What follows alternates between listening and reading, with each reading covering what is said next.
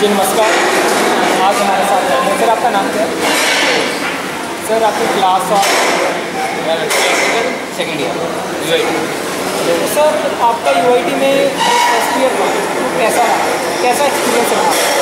अरे यार first year में तो पहला सेमेस्टर इलेक्शन वगैरह में निकल जाता है। कुछ पता नहीं लगता मज़े आते हैं किसी को नहीं पता होता कि कब जा रहा है एग्ज़ाम वगैरह आते हैं छुट्टियाँ इतनी मारते हैं बंक वगैरह?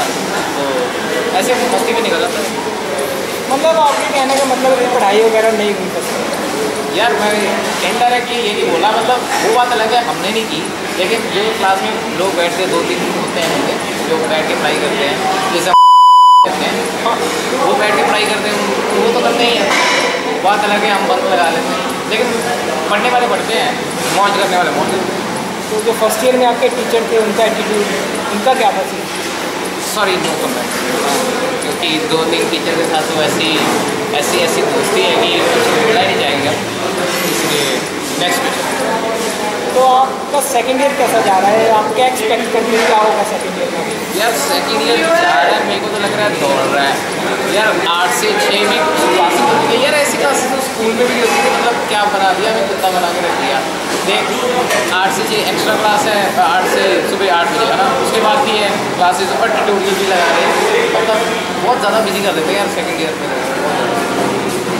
तो आप मतलब यू में कैसे चेंजेस चाहते हैं? अभी तक मेरे को लग रहा है आप इसमें खुश नहीं हो कि ठीक है जी चल रहा है या माता भी चल रहा है। चल ही रहा है मतलब वो बात होगी ना डिस्कवर वाली अच्छा यार बस चल ही रहा है।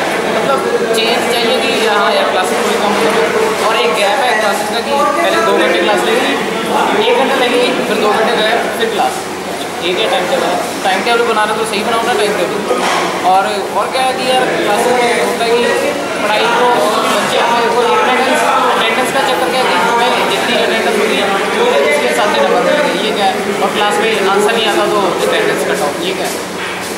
तो मतलब कि यही चेंजेस है जो आप चाहते हो? टीचर्स के बारे में कोई चीज़ जो आप मतलब सभी जितने भी हमने इंटरव्यू लिया आज तक टीचर्स की कंप्लेंट तो आई आई है। आप चलो नो कमेंट्स हैं।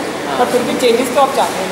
यार चेंजेस जैसे मैं चाहता हूँ कि क्या चाहता हूँ? मैं चाहता हूँ यार मतलब टीचर को जैसे पढ़ाना पढ़ाइए बच्चों को करिए मतलब जैसे बच्चे पढ़ना जैसे पढ़े जिनको पढ़ना है वो पढ़े जिनको नहीं पढ़ना है उनको मत तंग करें पढ़ने ठीक है ना? उनकी वजह से वैसे। सर आपसे बहुत अच्छा लगा। Thank you